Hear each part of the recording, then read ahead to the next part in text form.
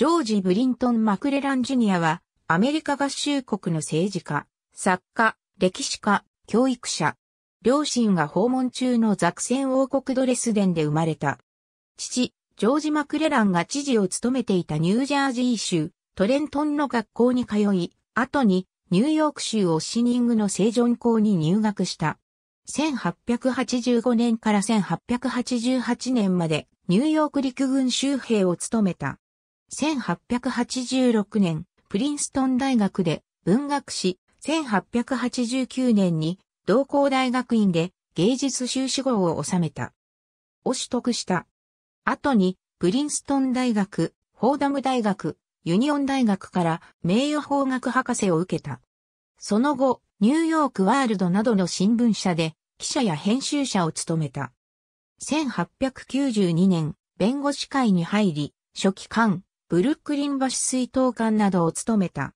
1892年から1894年までニューヨーク市議会議長、同年市長代行を務めた。1895年にアメリカ合衆国会員議員と選出され、1903年後半に市長になるために辞任した。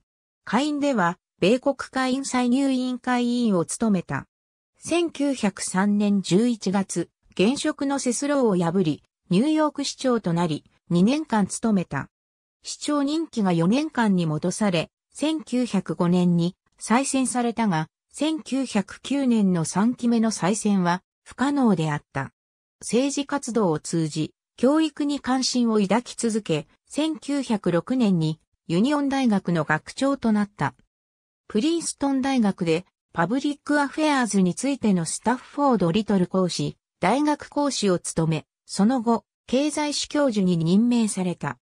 新しいメディアが社会のモラルを破壊し、セルロイドフィルムは火災事故のもとだと主張して、1908年のクリスマスイブ、すべての映画放映権を取り消し、映画検閲を行った。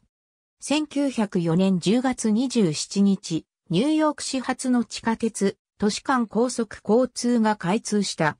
シティホール駅で始発列車を発車させると、列車が止まらなくなるアクシデントがあった。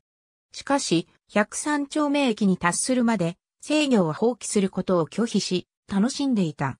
1917年5月、第一次世界大戦に陸軍兵隊部少佐として従軍し、1919年5月、中佐で除隊した。